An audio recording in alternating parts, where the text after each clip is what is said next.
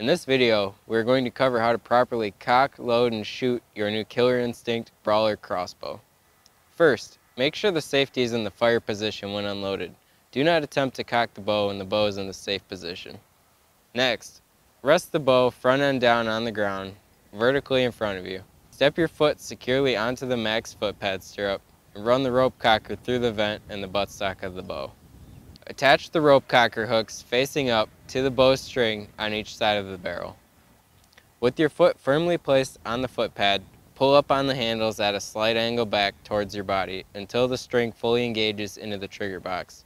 You'll hear the safety click back into the safe position when you've done so. Release tension on the rope cocker and remove it from the bow. Remember to keep your hands out of the string path. To load your crossbow, keep your hand in the safe hand area. Place bolt into the flight groove with the odd color vane down, sliding the bolt back under the bolt retainer until the curve of the nock rests solidly against the string. When you're ready to shoot, shoulder the bow and aim in a safe direction. Remember to always keep your thumb and fingers below the rail, string, barrel, and cables.